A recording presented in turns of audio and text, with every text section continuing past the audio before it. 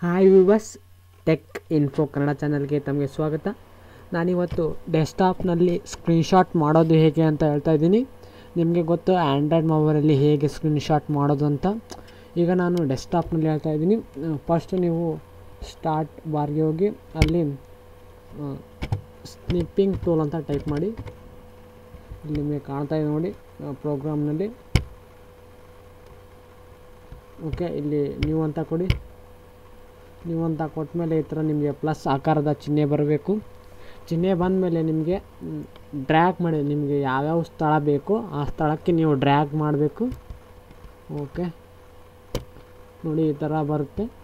ಈ ಥರ ನಿಮಗೆ ಮೇಲೆ ಸೇವ್ ಅಂತ ಇದೆ ನೋಡಿ, ಅದನ್ನ ಸೇವ್ ಅಂತ ಕೊಡಿ. ನಿಮಗೆ ಇಲ್ಲಿ ಲೊಕೇಶನ್ ಕೇಳ್ತಾ ಇದೆ. ಓಕೆ. ಇಲ್ಲಿ ಸೇವ್ ಅಂತ ಕೊಡಿ. ಓಕೆ, ನಿಮಗೆ ತೋರಿಸ್ತಾ ಇದ್ದೀನಿ ನೋಡಿ. ಟಿ ಡಿ ಡಿ ಅಂತ ಕೊಟ್ಟಿದ್ದೆ. ನೋಡಿ ನಿಮಗೆ ಈ ಥರ ನಿಮಗೆ ಒಂದು ಸ್ಕ್ರೀನ್ಶಾಟ್ ಮಾಡೋದು ಹೇಗೆ ಅಂತ ಗೊತ್ತಾಯಿತು ಅಂತ ನಾನು ತಿಳ್ಕೊತೀನಿ.